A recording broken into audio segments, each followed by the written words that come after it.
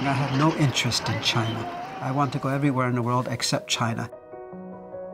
I'm Bill Brown, and I've been in Xiamen University since 1988. In China, total 38 years. I attended some meetings in Fuzhou that he was at, but I never pay much attention to him because he's always so low key. He doesn't talk a lot unless he has something really to say. What really first touched my heart was in 99, I had to go to Hong Kong because I had cancer.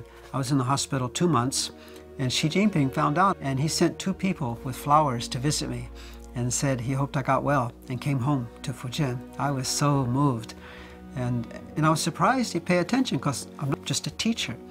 But he pays attention to that, to a simple thing. And then in 2001, uh, in Fuzhou, he gave me honorary citizen of Fujian. And, and he's the one that encouraged me to write a lot of books, by the way. So in 2019, I sent him my newest book um, and wrote him a letter. I was so surprised. He wrote back to me. "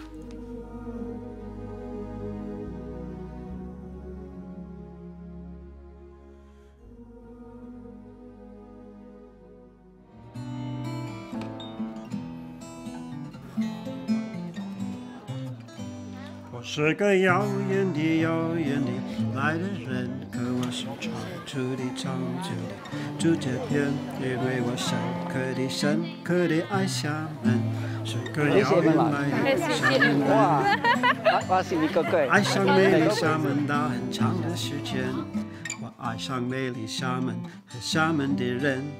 我爱吃闽南菜，我爱吃海鲜，我是个遥远来的厦门人。 I really fell in love with the culture and people. 哇，好酷哦！